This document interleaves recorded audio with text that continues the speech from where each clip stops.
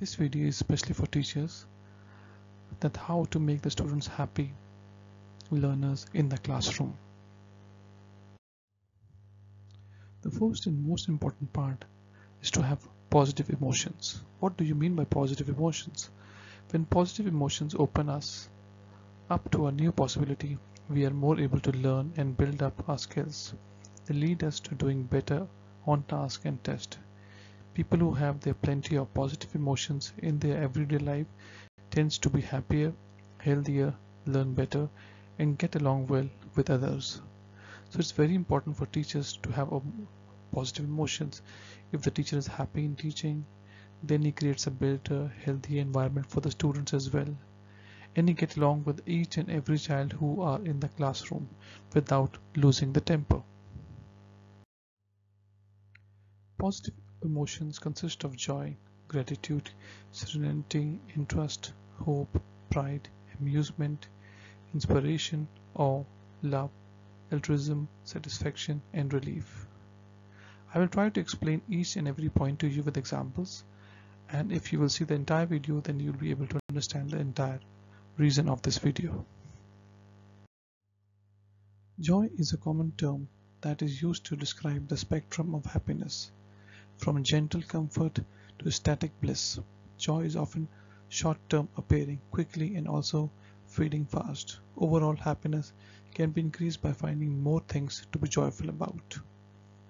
The teacher should be happy to teach. He should not be taking it like a burden and if he feels happy and enjoy the teaching in which every individual child will be a part of it and if the students they become a part of the learning then the teacher will become only a facilitator and with the coordination the lesson will become more and more easier gratitude gratitude is one of the strongest correlates with happiness simply by being grateful of what you have. You're focusing on the positive as opposed to be unhappy about what you do not have. Means be thankful what you have. Like sometimes we say that we haven't got uh, uh, a good PowerPoint projector. I haven't got a video to show them. But be thankful for the things which you have in the classroom. It can be a green board it can be a whiteboard it can be charts whatever you have it in the classroom try to use it and try to be happy for it because if you're happy what you have the students will be also taking part in it and participate in your lesson serenity is the calm of being content with what you have serenity is linked with higher spiritual states where the person feels at one with the universe and neither a victim nor a beneficiary of fate. It's a moment of calm and quiet in which you are able to cool yourself while teaching, not getting anger, not losing your temper, not going in such a way that the students are unable to follow, like having a peace of mind that is very important for a teacher. Second one is interest. We have interest in those things that will help us to meet needs and achieve our goals. Just taking an interest in what is going on around you and in the world at large gives space for the pleasure of discovery to appear. So the teacher must take interest in the topic what he or she is teaching. And if the teacher is very serious and very creative in the work, the students will definitely will be a part of it. It's not important only the smarter boy will should participate but each and every boy who is a part of the class should be a part of the learning. Hope is anticipatory happiness. It is the pleasure of an assumed future where good things happen and you will experience joy or other positive emotions. The teacher should not expect that at once the students will be a part of the learning. Sometimes it may take some time. Sometimes you need to have a personal talk with them. Sometimes they need a personal counseling. Sometimes you need to talk with the co-teachers. Sometimes you need to talk with the parents. So there is always an area of improvement. But if the teacher is the one who haven't got any hope, then definitely the child will not improve. So we have to follow the slow learners who are in the class and try to talk with them and try to find the reason and to try to make them move in the journey which everyone is on focusing on. Pride. Pride can have both negative and positive sides a prideful person is arrogant and concerned with, with their status over others. They may feel happy, but at the other expense of others. Means that a teacher should feel pride. He should not be the one who just take a, like a formality to come and teach and go. But he should have a personal term with every individual child, not doing the work for the sake of money you can say, but for the sake of saving the future of the school, of the city, of the country to make them a better citizens. One more important part is amusement. A strong motivational force can be very powerful for, for changing minds. Humor is an easy way of connecting with others and a shared sense of amusement is a helpful social bond. The teacher should not be the one who should make them demotivate. He should be the one who make them motivate, guide them, and a good sense of humor is very important. The teacher should not react at once if the students are not behaving in a good manner. He should be able to solve the situation or maybe discuss the same issue later, but not losing his temper at the present moment.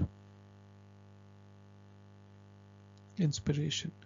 Inspiration is what we feel when we see or hear great speech and we are inspired to do something as a result of this. In this way, inspiration in, is used this particularly when using charismatic and transformational styles of leadership. So the teacher should be the one who make the students inspire, who make them happy, who make them transform. And he should not be the one who lose hope. He should be the one who make the students follow his footsteps. He should not be the one who leave them on their journey.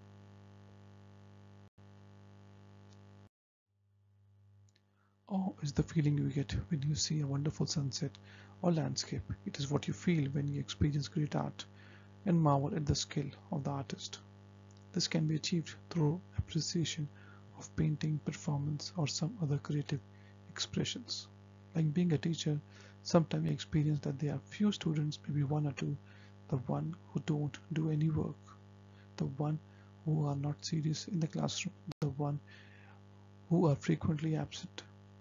But on the other hand if the teacher is hopeful so that things might change. But the teacher is not interested in the child then definitely the child will not be serious in the studies.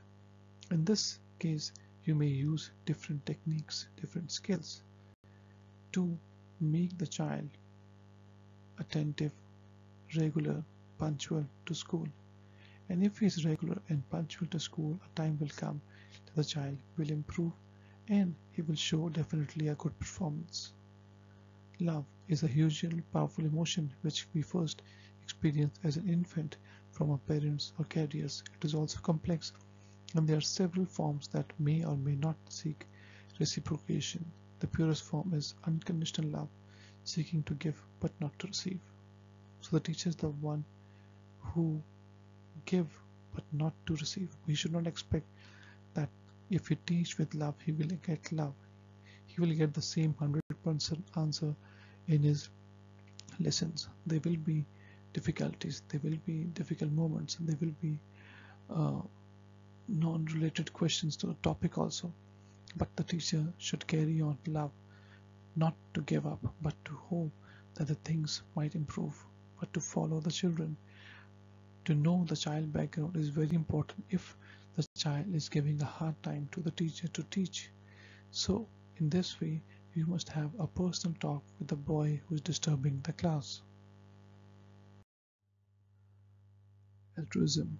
Altruism is the pleasure of helping other people. It is related to love, but it is not quite the same.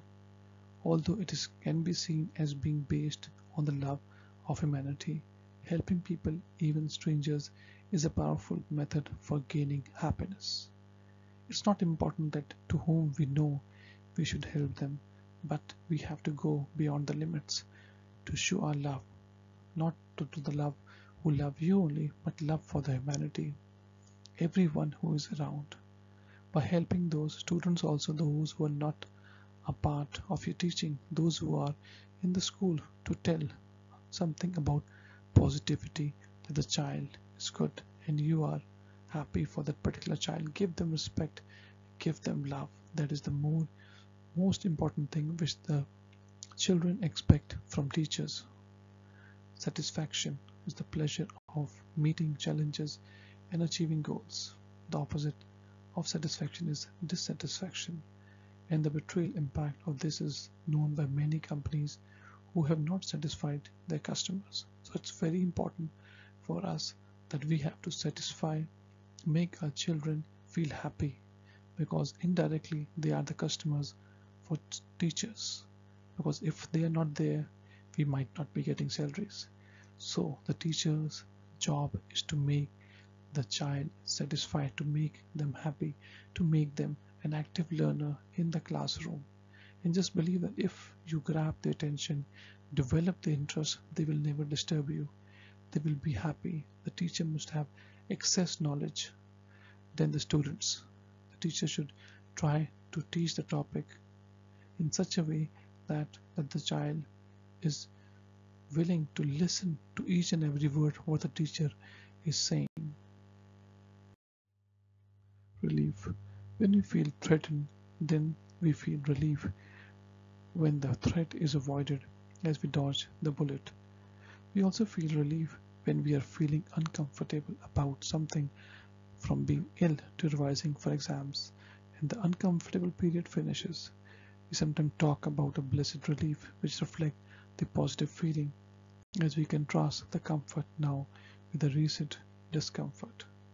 So every teacher must feel blessed relief in which the teacher is happy in the way he or she teaches. If the teacher is discomfort and the students are uncomfortable and they were also disturbing the teacher and the teacher was waiting for the time for the period to be over. This should not be the correct practice. It should be the one which teacher is happy and feel glad to be a part of the teaching and learning process. I hope you like my video so do like it, comment it and share it and subscribe it. Thank you very much.